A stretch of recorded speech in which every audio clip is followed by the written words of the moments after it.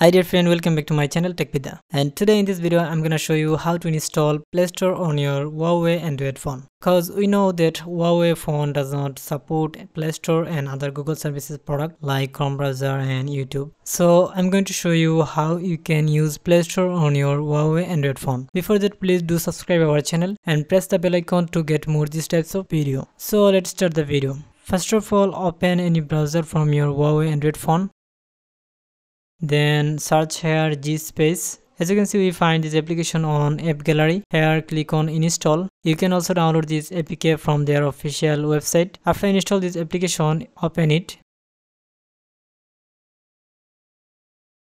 Then click on start. Then allow this permission. After that here click on continue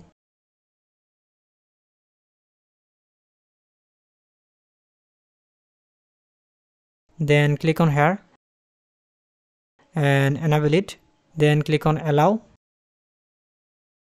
and just get back.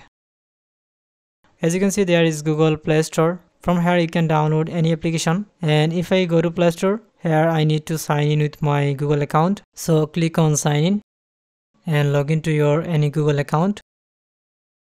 After put your gmail account and password then here click on i agree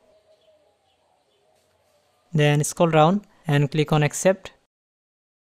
Now you can see I have got Google Play Store on my Huawei Android phone. If I want to install any of these application here just I need to click on install. After I install if I open it you can see it's working properly. So friend if you think this video is helpful for you please don't forget to subscribe our channel and like comment share. Thanks for watching this video